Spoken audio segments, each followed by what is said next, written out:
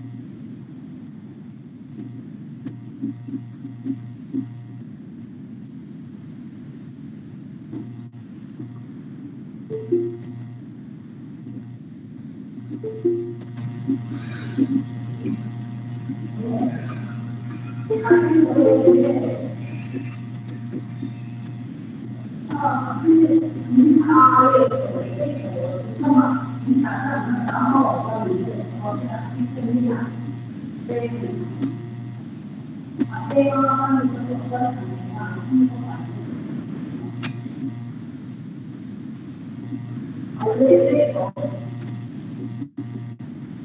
join.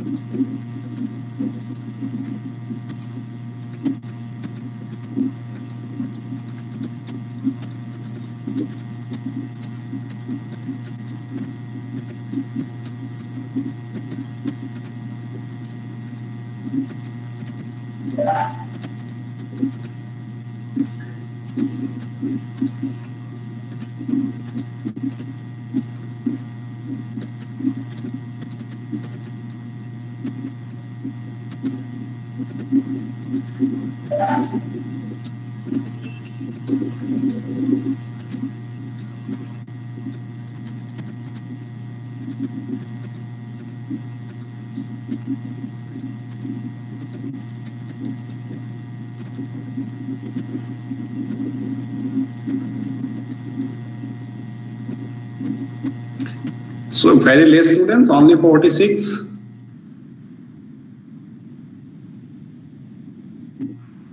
What happened?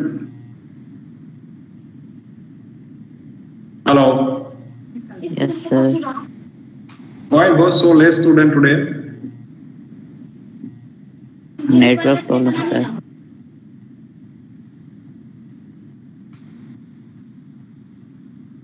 So should we start?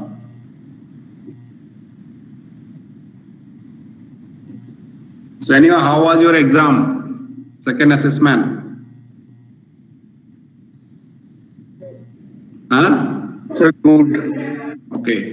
So one student has not appeared. He is there. Uh, of course, I've forgotten his roll number. Attending today's class, who will be appearing in the makeup exam? He or she is here today in the class. Huh?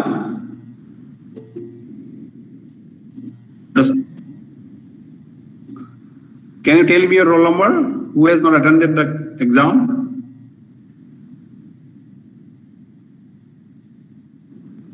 Good morning, sir. Is This is Sekhar Chaudhary. Yes, sir. You have not attended, na? Yes, sir. So your makeup exam, I think shortly it will be there. So prepare well. Okay, sir. So Thank you, sir. lit- little bit, little bit tough question you may get it. Okay. Okay, sir. Thank you, sir.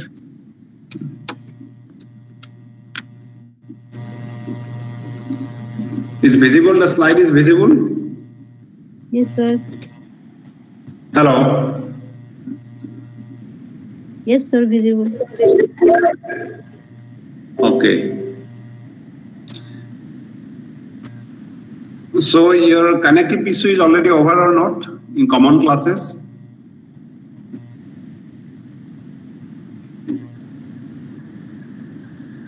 Hello.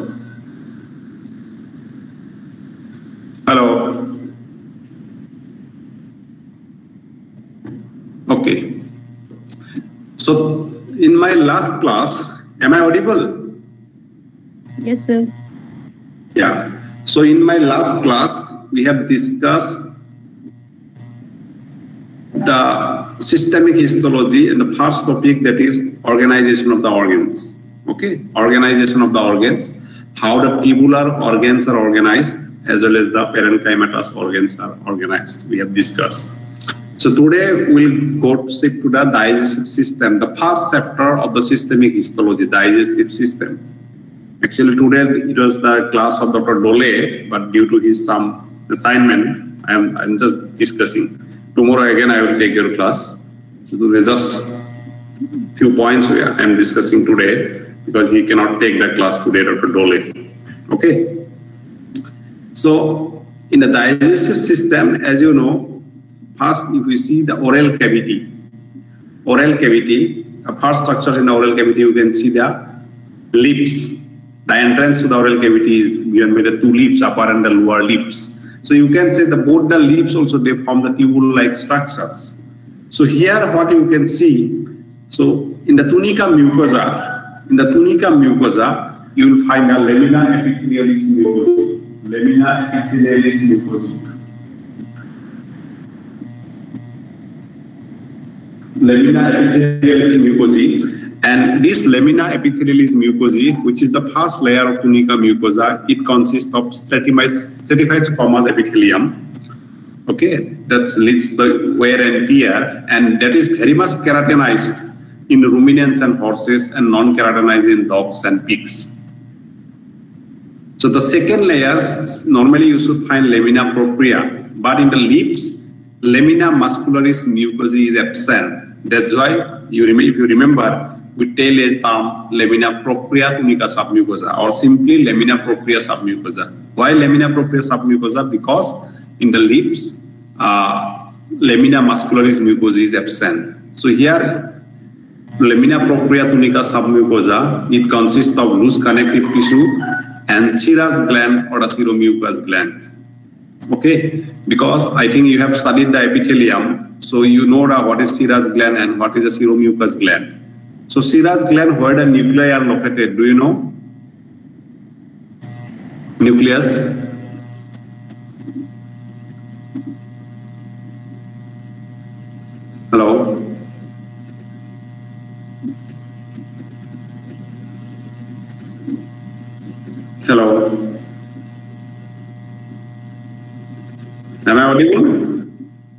Sir. So, in serous gland, where the nucleus are located? Sir. It is centrally located in the the glands. In the central central part, nucleus is located. But in mucus, you will find nucleus is located at the peripheral part, okay, of the secretory cells. In serous gland, in the in the secretory cells, centrally the nucleus is located. In mucus, it is peripherally located. Okay, so you will find serous and seromucous glands in the lamina propria tunica submucosa of the lips and tunica muscularis that consists of skeletal muscles, mainly the orbicularis oris muscle you will find. Then when you come to the next layer, it will be definitely tunica adventitia. It is typical. I'm not mentioning tunica adventitia because it is outside the uh, serous cavities. Coming to the six, when you study the histology of the stick, the same lamina epithelialis mucosa, it consists of stratified squamous epithelium. It will be keratinized in ruminants and horses and non-keratinized in dogs and pigs. Okay. So again here also lamina muscularis mucosa is absent. So it will be termed as lamina propria tunica submucosa. You will find the buccal glands. That means in the propria submucosa you will find the buccal glands. Okay. And that may be of serous or seromucous glands. And tunica muscularis, it consists of the skeletal muscles. Coming to the hard palate. So already you have studied hard palate, uh, what is called grossly. What is the hard palate? Okay, osseous palate. What you will find that whole hard palate is divided longitudinally by median palatine raphe on either side, you will find a transverse ridges. But if you see the hard palate histologically, you can see the lamina epithelial is composed of, or it is consist, or it is lined by keratinized stratified squamous epithelium. Because hard palate is also under exposure to the air and tears against the oral cavity of just roof of the oral cavity. So its lining epithelium is keratinized epithelium. And here also lamina muscularis is missing. You will find lamina propria tunica submucosa that consists of the dense network of collagen and reticular fibers. And you will find the palatine glands in the propria submucosa. So as it is palate, it's called as palatine glands. Okay. And mostly these palatine glands are located in a caudal part of the hard palate, except in peaks. That means in the peaks you won't find the palatine glands. So propria submucosa, tunica lamina propria submucosa consists of dense network of collagen reticular fibers with palatine gland at the caudal part, except in the porcine species. And muscularis, tunica muscularis is consists typical skeletal muscle layers.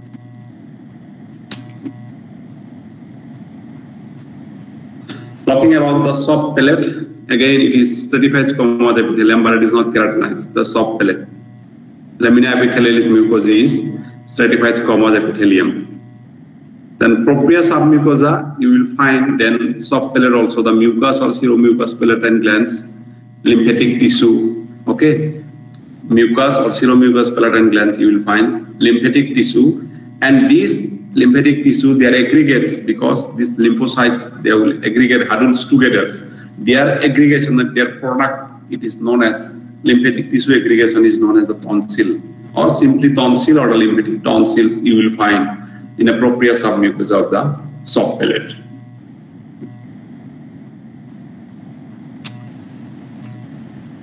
Then coming to the tongue, sorry, yeah, soft palate.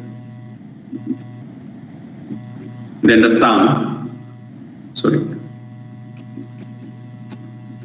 So tongue, what is the gross structure of the tongue? Do you recall the gross structure of the tongue?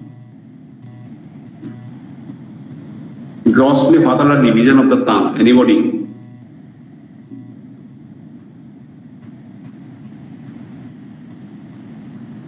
Hello?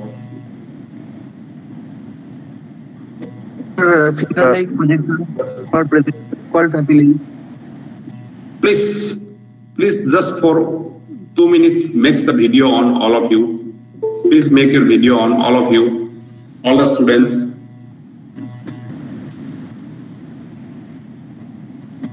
All the students, please make video on. Everybody.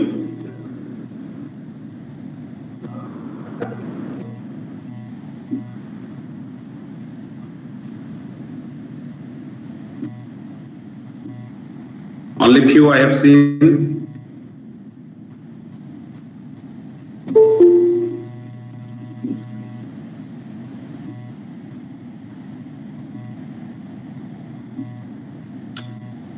Am I audible? All the students, please make your video on for just two minutes.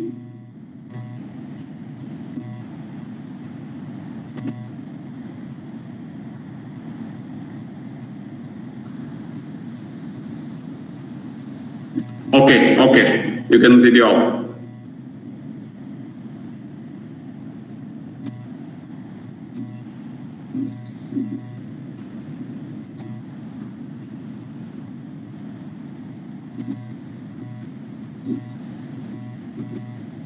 So from the gross studies, gross anatomical studies that you know the tongue, okay?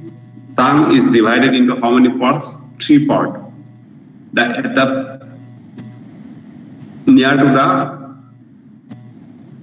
boundary of the oral cavity, you will find the apex of the tongue.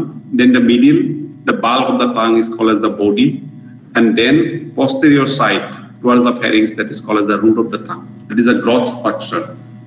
Apex, body, and root. Okay. So all the three structures, that means the apex, body, and the roots, if you see histologically, it is covered by the mucous membrane mucous membrane And this mucous membrane, if you see on the dorsal aspect, it is lined by keratinized stratified squamous epithelium. Dorsally, where you will find the many papillae.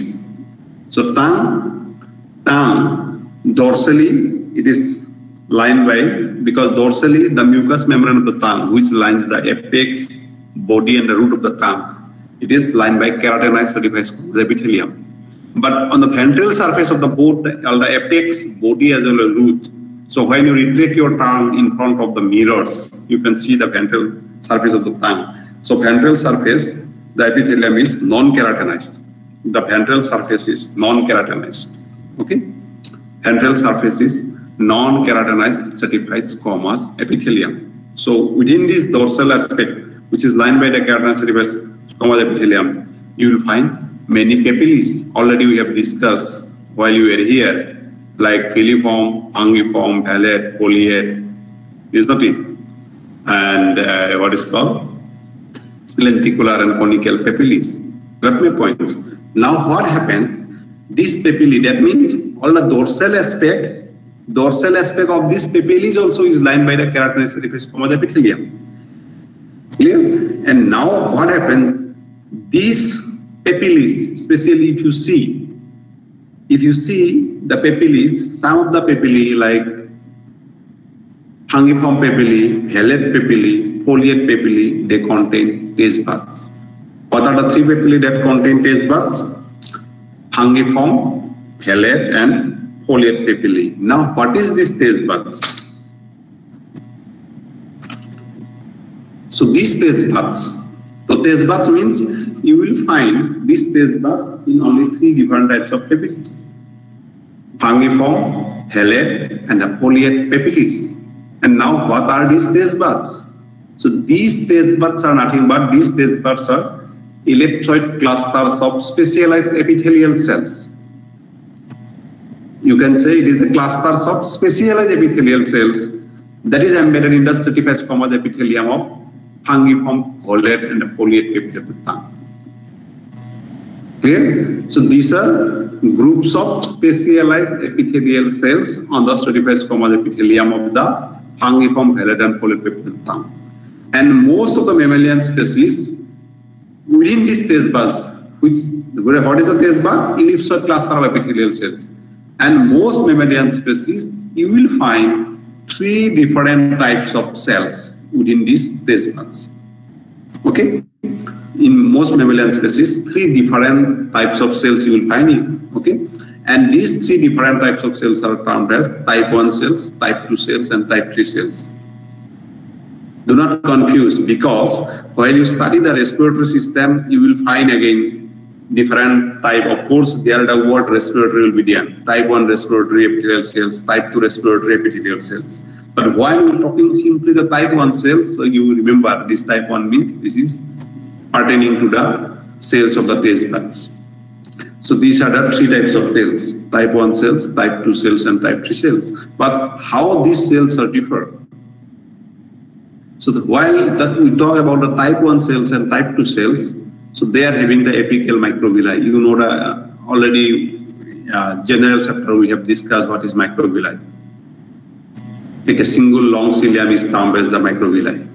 You will find on the free surface of the cells or the apical surface. So these cells, type 1 cells and the type 2 cells on their free surface, you will find microvilli that project into the taste pore. So this is the characteristic of type 1 and type 2 cells. What is the characteristic? They have apical microvilli. Type 1 and type 2 cells have apical microvilli project to taste pore. Now, what is the characteristic of the type 3 cells? So type 3 cells are characterized by clusters of cytoplasmic vesicles. So you will find in type 3 cells many cytoplasmic vesicles. They resemble the synaptic vesicles. And they are adjacent to the intraepithelial afferent nerve fibers. Therefore, type 3 cells are termed as chemoreceptor taste cells.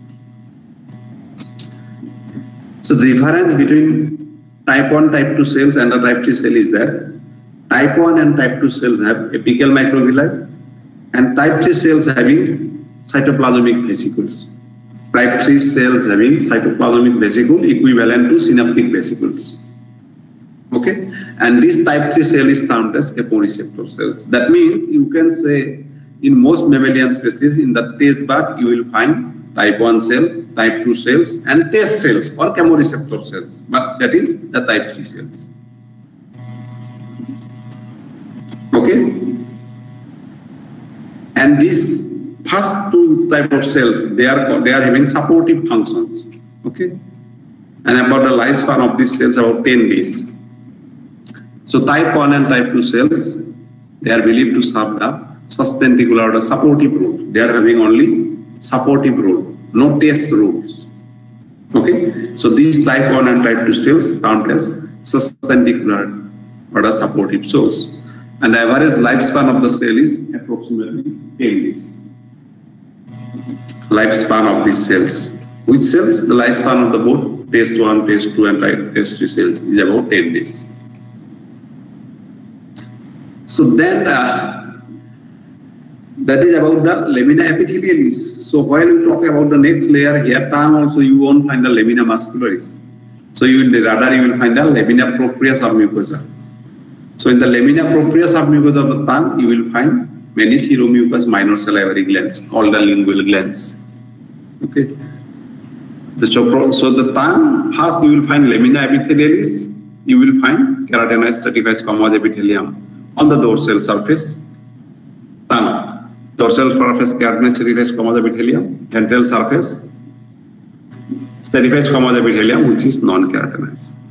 So all the dorsal surface, all the papillae are lined by this stratified squamous epithelium. Where you will find taste buds. And these taste buds are ellipsoid cluster of specialized epithelial cells. Consist three types of cells type 1 type 2 type 3 cells. Okay?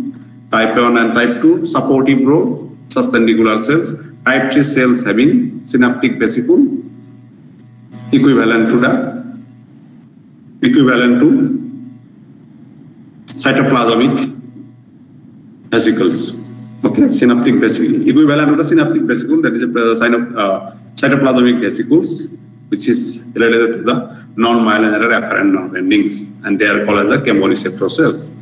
And in the propria submucosa, you will find seromucous, that means mixed minor salivary glands, which are called as the lingual glands. That is about the histology of the tongue.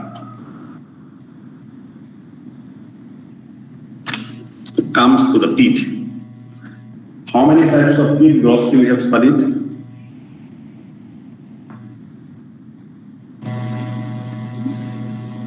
Do you remember? Remember? What are those?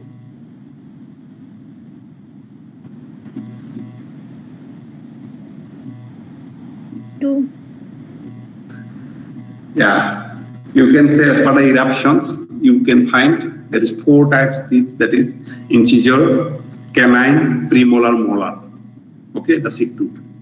Incisor canine on the basis of eruption. But if you see some from the structure as the teeth on the basis of the structure is concerned, you will find two types of teeth. One is called brachydont and hypsodont. Okay. If we see structurally, structurally teeth are divisible in two types, brachydont and hypsodont. Of course, a little bit we have discussed in the cross. So brachydont teeth means they have a distinct crown. Crown means the exposed part of the teeth. Our white part will expose the crown. And then constricted neck you will find and the roots which is not visible embedded in the alveoli, alveoli of the jaw bones as well as the maxilla, mandible and maxilla. Okay. So, so brachydont teeth means, brachydont teeth means it's have a distinct crown, distinct neck, and distinct roots. And the crown is covered by the enamel. Enamel, the brilliant white structures that extends down the neck. So in the brachydont teeth, our exposed part, the white part you have seen, there is the enamel. Okay. and the root, which part you cannot see it, the root part is covered by layer of cementum. And just below the both enamel and cementum, you will find a layer of dentine. This point is clear or not? Yes, sir. Okay. So that means brachydont teeth means is having a crown, neck and roots. The crown part, the exposed, our exposed part, the brilliant white part, that layer is enamel. And the root part, which is not visible, you will find a root part that is, you will find a pass a layer of cementum. And below both the enamel and cementum, you will find a layer of dentin in case of brachydont And this covering of the enamel, cement, and dentin is little different in hypsodont teeth. I am coming to that. But in brachydont, it is very simple. Enamel is covered by, sorry, crown is covered by enamel, root is covered by cementum, and both below the enamel and cementum, you will find a dentin. An example of brachydont all teeth of carnivores, our human teeth, incisors of the ruminants, teeth of pigs, etc. canine teeth. That is about the brachydont teeth.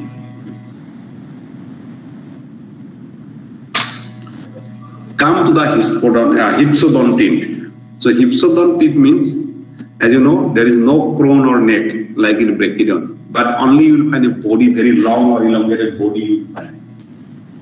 So in hypsodont, no crown, no neck, but you will find only the elongated body. And you can see the structure. So here, the crown part was covered by enamel, but here what is telling? Cementum covers the outside of the teeth, both above and below the gingiva. That means here outer layer is cementum. But in case of brachydont, what I meant, outer layer means on the crown part, it was enamel. But here, outside is cementum.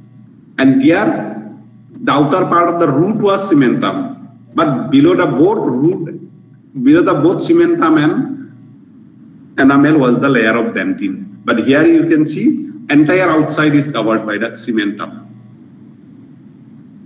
Entire outer part of the teeth is made up of cementum and below the cementum you will find a layer of enamel extending throughout the length of the body and apex of the root. But the point, the enamel lies on a thick layer of dentin. Again, down to the enamel, you will find a layer of dentin. See, first is cementum, then you will find the enamel, then the dentin. And if so, then all teeth of horses. Then cheek tooth of the ruminants. Cheek tooth of the ruminants is the hypsodont and the canine or the tucks of the board canine teeth of the pigs or the tucks of the boar is the hypsodontid. Is clear about the hypsodontid?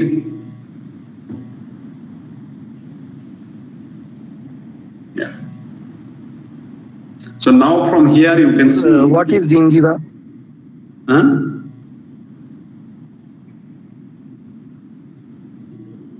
Yes. Sir, in one line, Gingiva. Ah. Uh, sir, what is the meaning of that word? You see this gum, gum is there, no? Gum.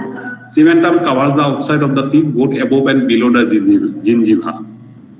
So the gum, you see, there's a protrusion part of the gum through, means throughout the entire thing, and that part is the gingiva.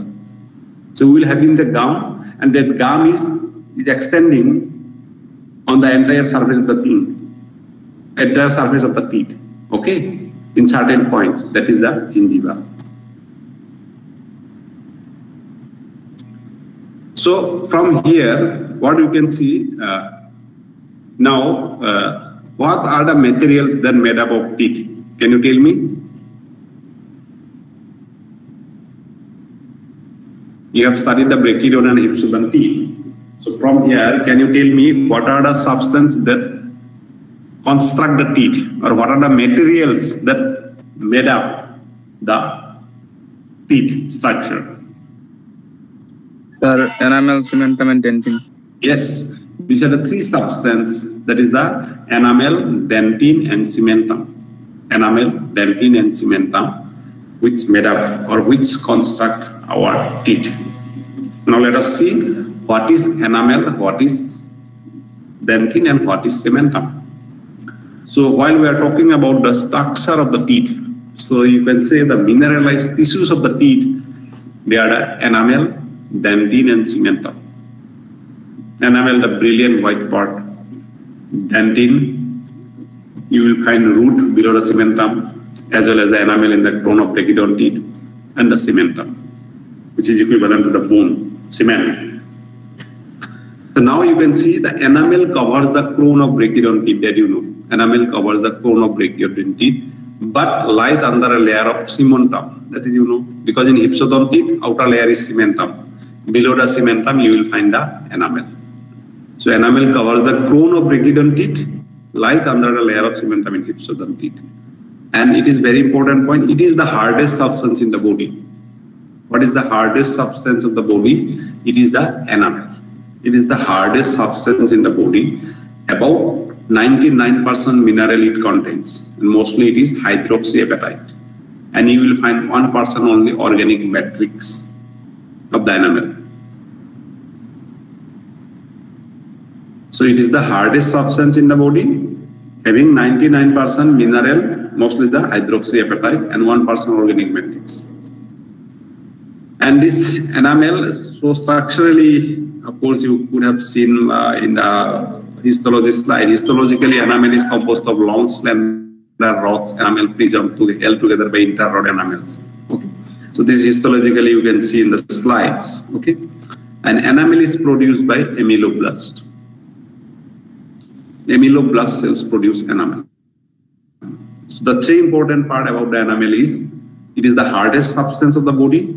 It is produced by ameloblast cells and main content is hydroxyapatite. Hardest substance, main composition of enamel is mineral hydroxyapatite and it is produced by ameloblast cell comes to the dentin. So dentin, it is the highly mineralized tissue. It is the highly mineralized tissue that constitute the major part of the tooth. It's the highly mineralized tissue that constitute the major part of the tooth. So this dentin is underlies the enamel of the crown and the cementum of the root the brachydont teeth. That you know, dentin where it is located. In case of brachydont teeth, below the enamel. And below the cementum in the root, it is located, dentin. And the enamel of the body in hypsodont, in hypsodont, dentin is located below the enamel of the body. Because in the hypsodont, outer is, outer you will find cementum, okay, then enamels, then the dentin. And who produce the dentin? It is the odontoblasts cells continue to produce the dentin throughout the life of the teeth, but at a slower rate after tooth erupts. Throughout the life of the tooth, odontoblasts cells produce dentin. As far as the composition is concerned, 70% minerals you will find, 70% different minerals like magnesium, fluoride, hydroxyapatite, all you will find, but it is about 70% and 30% organic matrix. But in case of enamel, it was about 99% minerals and 1% organic matter. Clear? So important point with the dentin is that it is produced by odontoblast cells. Odontoblast cells.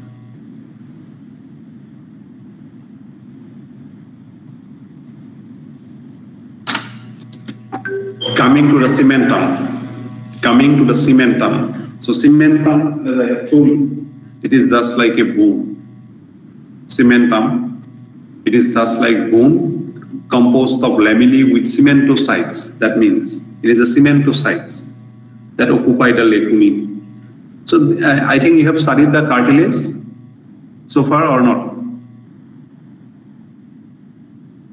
Hello? Connective tissue, you have studied cartilage? Hello? No, okay. So you see, so cartilage, if I probably next class you will study the cartilage. So there are three types of cartilage, hyaline, elastic. I think I have also told in the gross classes, hyaline, elastic, and the fibrocartilage. And these cartilage cells, you will find two types of cells, and is chondroblast and the chondrocyte cells. So chondroblast is younger cells. So, so these younger cells, when they try to become mature, what are, they will try to secrete the matrix, organic matrix. And while they're secreting the organic matrix, okay, so their processes try to trap within the matrix and they form a depression-like structure, depression-like structure, and that is called as the lacunae. Lacunae. Yeah, that is a depression. Having just, you will find just like you can say the bowel type but it is not deeper as the bowel. Okay, so lacunae means you can say one depressions where you will find uh, chondrocytes. Chondrocyte means the mature chondroblast cells. Okay, so here it is telling cementum is like bone composed of lamellae with cementocytes occupied the lamellae. That means cementocytes also you will find within the lacunae.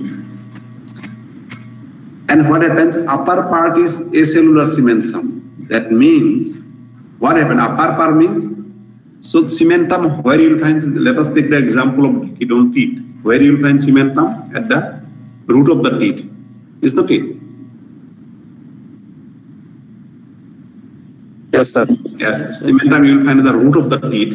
So in the upper part of the root, you will find there is acellular cementum. That means this cementum is not having cells. That means cementocytes. So in the upper part of the cementum, the cementum will line the roots of the brachydont teeth. Okay. So, but in hypsodon, you will find entire outer surface. So, what happens? The upper part of the, in case of brachydont upper part of the root, you will find there is a acellular cementum. That means cementum will do not contain the cementocytes. So, instead, what you will find here, you will find there collagen fibers. And these collagen fibers are specifically it is called as Sharpey's fibers. So they will extend from alveolar bone into the cementum of the tooth. That means these Sharpey's fibers, but Sharpey's is a specific name, but commonly these are the collagen fibers. So while you study connective tissue, you will find there are three types of fibers in our body. One is called as collagen fibers, another is called as elastic fibers, and another is called as reticular fibers. Okay, collagen, elastic, and reticular. So if you recall my earlier class, while we discussed about the ligamentum nuchae, so here mostly you will find it give elastic, elastic fibers. Okay. So when we are having any injury in our body, okay, then what happens? We take the lemons or other vitamin C. So that helps in synthesis of the collagen. There are different types of uh, different types of connective tissue collagens are there, type 1, type 2, type 3, or that you will know in your postgraduate level. But in general, you remember there are three types of collagen fibers, uh, three types of fibers. One is collagen, elastic, and reticular fiber. So Sharpey's fiber means this is a specific term, but that includes the collagen fibers only that extend from alveolar bone to the cementum of the tooth. And these fibers, this fiber means in general, the collagen fibers, specifically the Sharpey's fibers, they form the periodontal ligament, which normally bind the tooth in the alveolus. That means our tooths, our tooths you will find in the alveolar socket. So you in the jawbone, you will find the maxilla, or you will find in the premaxilla, in incisional teeth. So these tooths are anchored or tied with the help of these Sharpey's fibers. Sharpey's fiber means this is the collagen fibers, and that is called as the periodontal ligament that binds our teeth into the socket in the alveolus. Clear? So here, important point is that with the cementum, that upper part of the in the cementum in the upper part do not contain the cementocyte is acellular. And bundles of collagen fibers, that is the Sharpey's fibers, they extend from alveolar bone to cementum of the tooth and they form the periodontal ligaments. So then we use, always use the term dental pulp. What do you mean by dental pulp? When see our tooth decays, we are very sensitive our teeth. We feel pain if something what is uh, if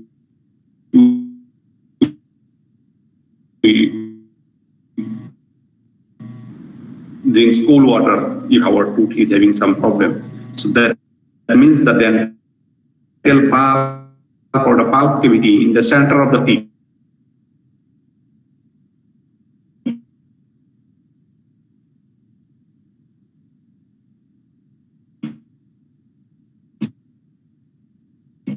includes